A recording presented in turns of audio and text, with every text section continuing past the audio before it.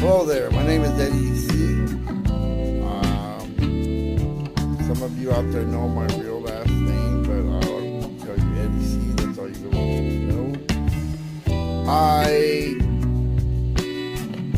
kind of go by Tucson Poet 71 because I'm a poet at heart and I took poetry in college. I got my philosophy degree.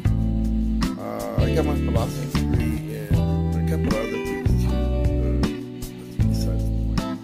I'm a philosopher, a poet, and I'm an observer. I like to make things from scratch with my hands. I like arts and crafts. I'm going to be trying to get into arts and crafts pretty soon.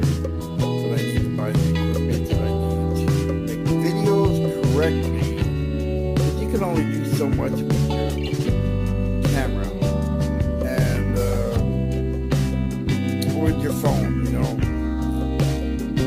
whatever be.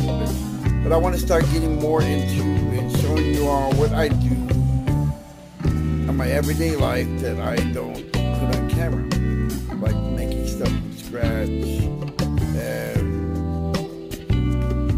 planting stuff, cooking stuff, making up home recipes, making my son toys out of anyway, subscribe to my channel, like, share, and please leave some comments.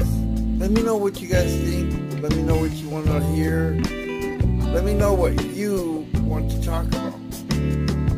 Just think of me as a video friend.